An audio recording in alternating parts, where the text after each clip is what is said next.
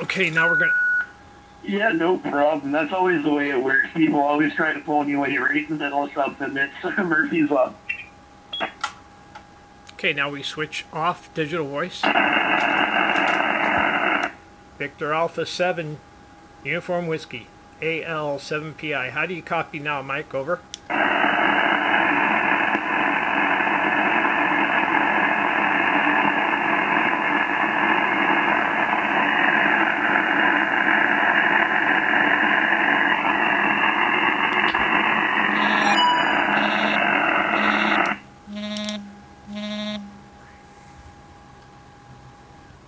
Uh, Victor Alpha 7, Uniform Whiskey, AL7PI. I guess you couldn't hear me there. Go ahead.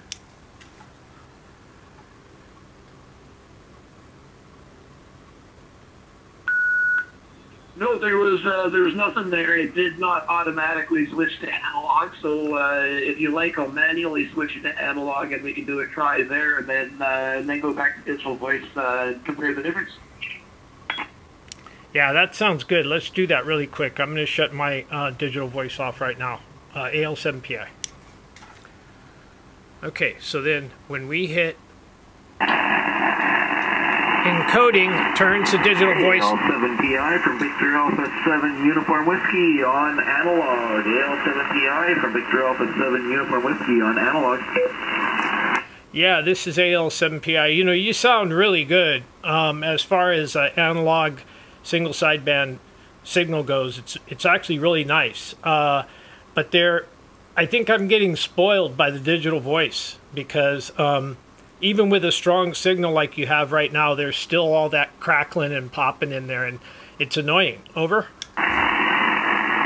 I understand completely. I was just thinking the exact same thing. On the digital voice, you don't have that hiss in the background, and it sounds like talking on a cell phone. And then you go back to the analog sideband, and you got that mandatory hiss that's always in the background, no matter what. Your audio quality is great, but that uh, that hiss is getting annoying after we've been playing with digital. Yeah, I love the the audio. The quality is on these. Uh, the speech processing is amazing. It's really, really beautiful. I'm going to switch my uh, digital voice back on. Yeah, sounds good, sounds good. And the one thing I noticed as well too is with the digital voice, its uh, its auto baud rate establishment seems to be doing real good to keep up with the band changes. I was really impressed with that. VA7UW switching back to digital voice.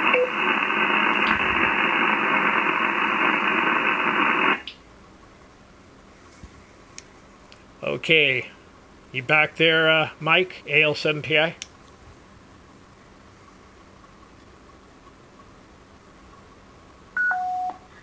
Yeah, we had a, a good conversation on analog, and as soon as you switched to digital voice, I didn't even do the manual switch on mine. It just automatically selected it. As soon as it heard digital voice, mine automatically switched, so it's uh, it's fully autonomous.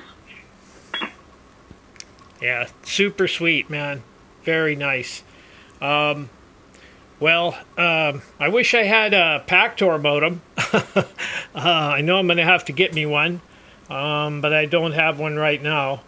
I'm supposed to be getting an antenna switch. It's coming any day now, um, and then I'll be able to run the uh, the log periodic and my big loop at the same time.